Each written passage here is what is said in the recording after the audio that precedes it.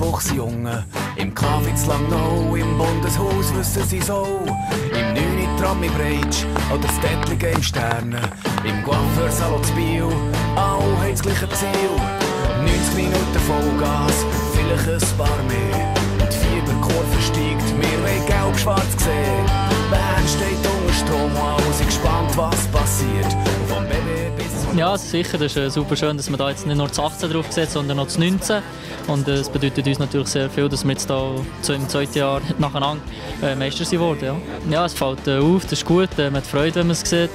Natürlich auch, wenn IB-Fans drin sind, wenn man das sieht. Und es äh, ist natürlich cool, dass da auf dieser Linie fährt, die zum Stadion geht, wie man es manchmal auch beim Stadion sieht.